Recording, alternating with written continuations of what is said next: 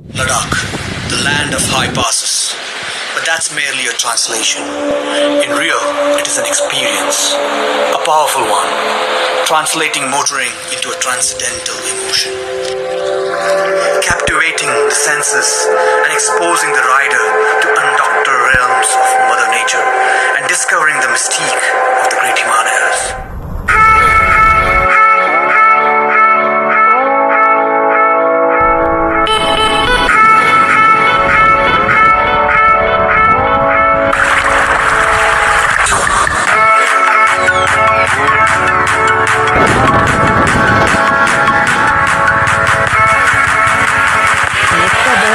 Okay.